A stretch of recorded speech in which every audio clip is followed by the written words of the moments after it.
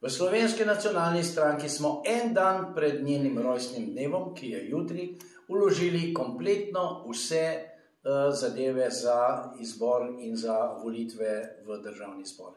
Bili smo prvi po vsej Sloveniji, če vzamemo povprečje, in uh, tako se dela. Prvi pri delu, prvi pri jelu in prvi pri nagradah, to se pravi, uspehu na volitvah.